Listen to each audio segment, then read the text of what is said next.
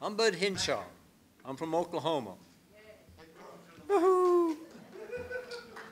I was on Eniwetok and Bikini.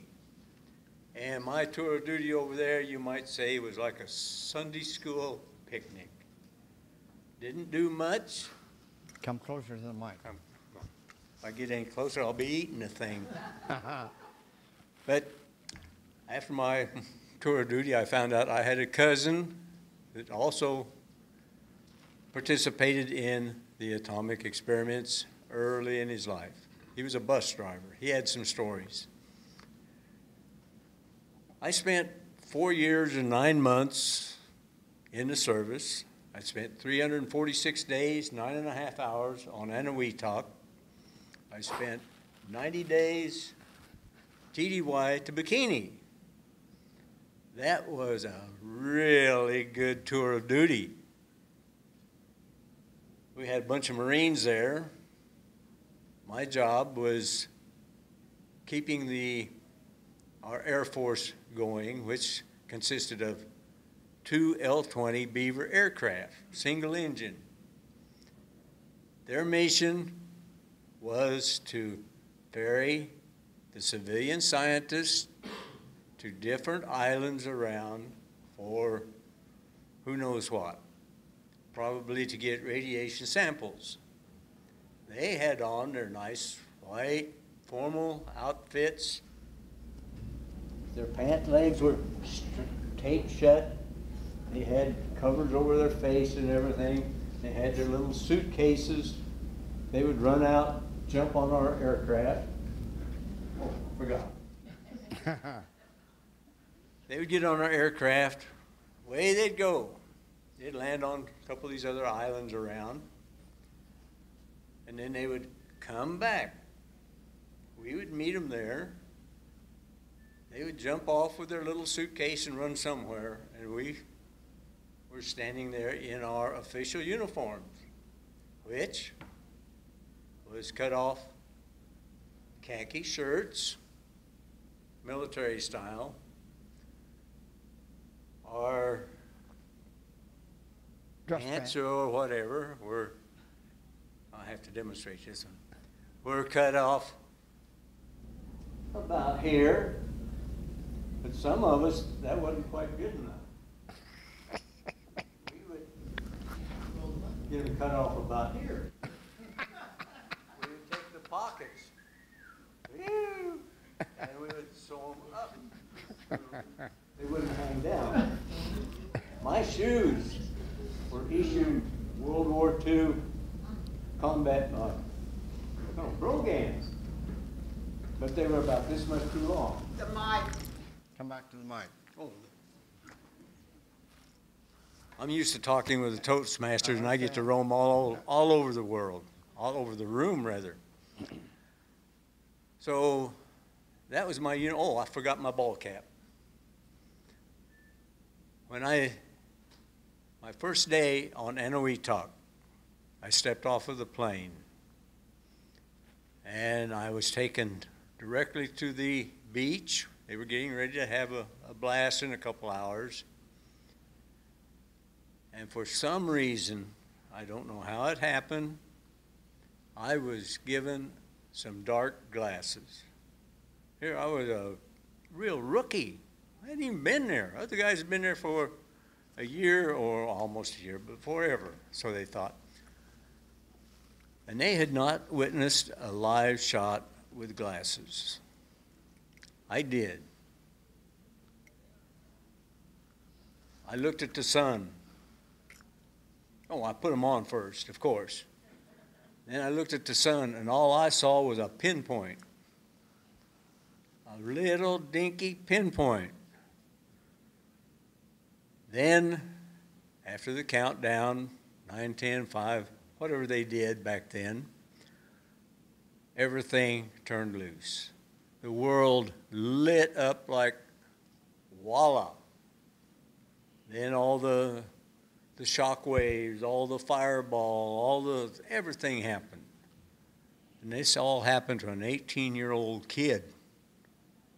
I got to Eniwetok because a friend of mine that I went through basic with was in trouble with a judge in Wright-Patterson Air Force Base in Dayton, Ohio. He said, Bud, come with me. And I said, oh, why not? I, I joined this. I'm going to do like the Navy. I'm going to see the world. I'm going to go to the South Pacific. They didn't tell us what was in the South Pacific. So consequently, we got down there, and here again, we didn't have to do very much. We had, must have been about 10,000 civilian construction workers on the other island. I believe it was Japtan. Is that right? No, Anahuac. I was on. Well, Japtan was a civilian. No, it Holmes was Fred and Parry. Fred and Parry. Parry, there you go. It's been so long since I was there. Yeah, Japtan was where we went for our squadron parties and our, Yeah. yeah, okay.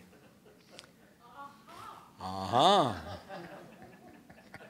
That, well, now I lost my chain of thought, but, uh, let's see, duty, TDY, grid club, uh, well, I made a few little notes here, and I couldn't find until she brought them over to me, and I, they were in my folder anyway. So,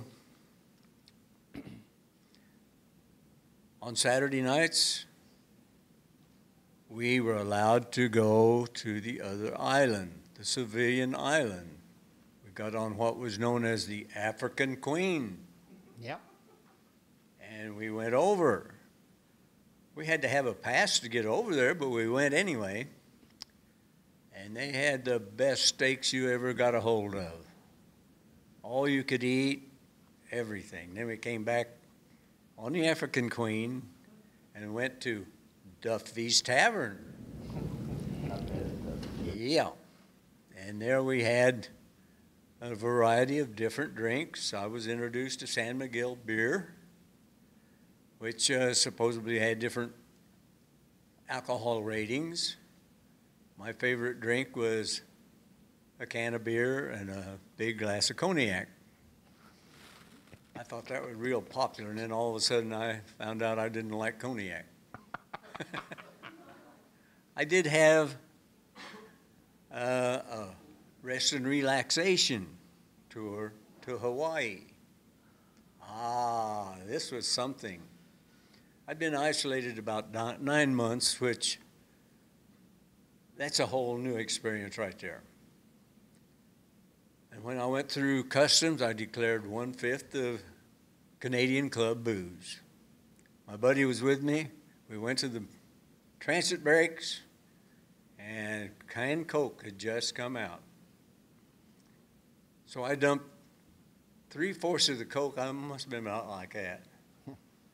Filled it all up with uh, the good stuff. And that's when I had my first, um, well, let's say, I vomited very well. I lost everything. Woke up in the morning. I remembered something, but I can hardly take booze again like that. then my next trip was a three day pass to Guam. And I had saved some money so I could buy some clothes or whatever to come home on. But I'd spent my $70 that I'd saved in um, taking my buddy to Hawaii because he didn't save anything. We got to Guam, got on this people carrier, I'll call it. That's what was on there. This big old truck, four bys, call them four bys. I forgot my military terminologies. And we sat on the back of that thing, and we had a native driver, and he knew one speed. And we were sitting there on the side, and that thing, he's us unexperienced people. We slid around, and native that were riding on the truck, they sat there glued perfect. You know. it was terrible. And oh, Another thing that was terrible, if you're ever on Guam, maybe it's changed now, don't order a pizza. We had been starved to death for anything like that on Anahuac. First thing we did, we ordered this nice big pizza, and it came out like, um, well, it had some ketchup on it, and it'd been around a fire somewhere.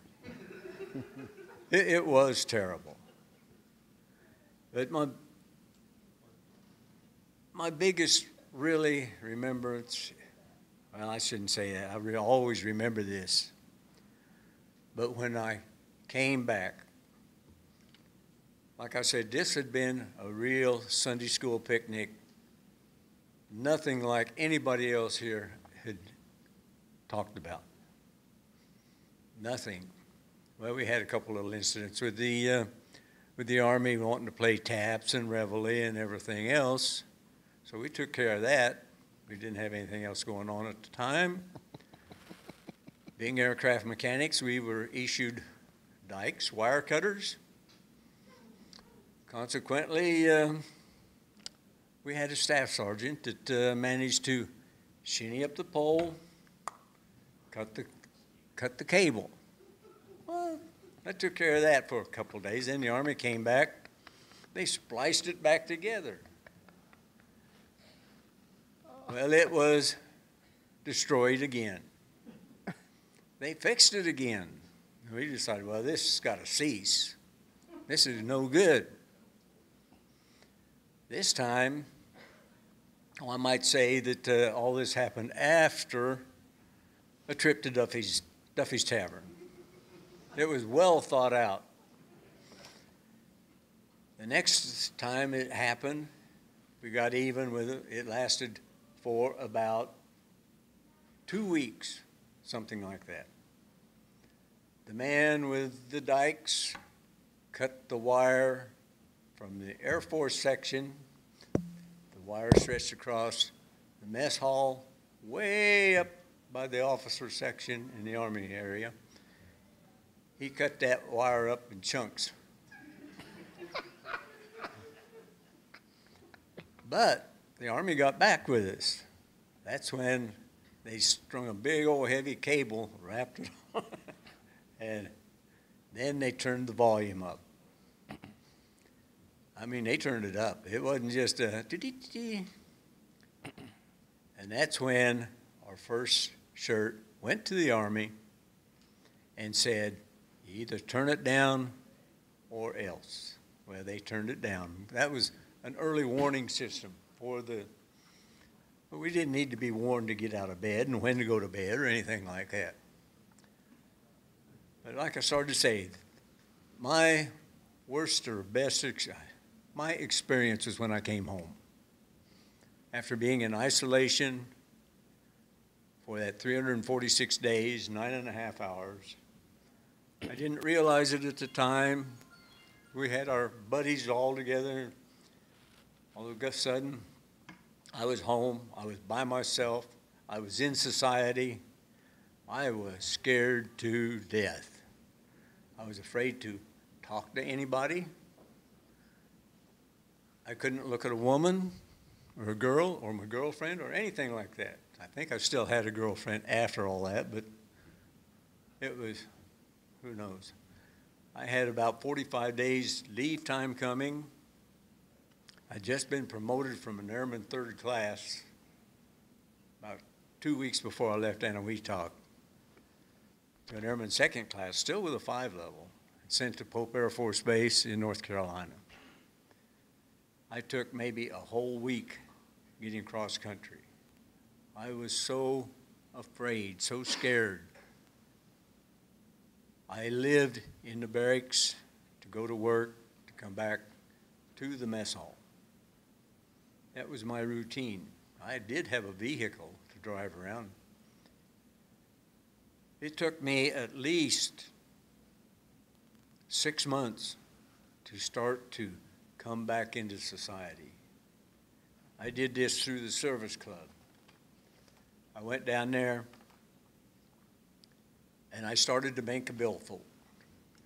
When I hand tulips, as far as I know, that that billfold is still at the Service Club. And with that, I want to say thank you for listening to my Sunday school trip. It wasn't anything like what you had. My goodness. We did have one staff sergeant at the squadron party swing up into the rafters, hooting and hollering, and then he got down and then he stomped through the baked beans afterwards. So thank you again, and I appreciate all this. You're welcome. While you were at uh, Bikini Atoll, uh, I spent quite a bit of time up there. You didn't happen to by chance an evening, you know, you lived in tents. You didn't happen to have the vegetarian rats come down there and visit you at night, did you? Uh, no, but one thing we did do, when we were shutting down the island, Okay. we, well, the Marines left all their booze around. so Yeah. We had to help Okay. take care of that. Yeah, take care of that. We walked to work by way of the mess hall with a drink in our hand, and we ate steak every day. I have to admit, you know, at Holmes and Narver was the feeding organiz- or the construction company out there, and they fed well. They really did. They really did. You talk about the rats on the island? On Bikini Atoll, we, we didn't have anything but tents to sleep in. We had rats on the ship and they had, uh, they give a gift certificate, you could step, you could stand and get stuff from Hong Kong and Japan. Gift certificate called the Pied Piper the Boxer, the guy that killed the most rats. So when we was on the island there, a couple of us got the idea that we would get the prize because there's so damn many rats on the island. That, of course, we were pretty well tanked up. Yeah. We Went out and clubbed a whole bunch of these damn rats and kind of smuggle them on board. But we got caught when we were coming up the ladder because there was blood coming out the. Well, the reason I ask you about the rats is because, uh, you know, I spent some time up at Bikini Atoll. They're vegetarian rats. They don't eat it. They won't eat meat at all. And uh, but it's amazing part of it is they come down off the ships on the big tie down for the port, and they come down on the, on the island. Well, I got to tell you, the first night I was up at Bikini Atoll, uh, I'm sleeping on my back, and all of a sudden, about 2 a.m. in the morning, here's these two little beady eyes looking at me.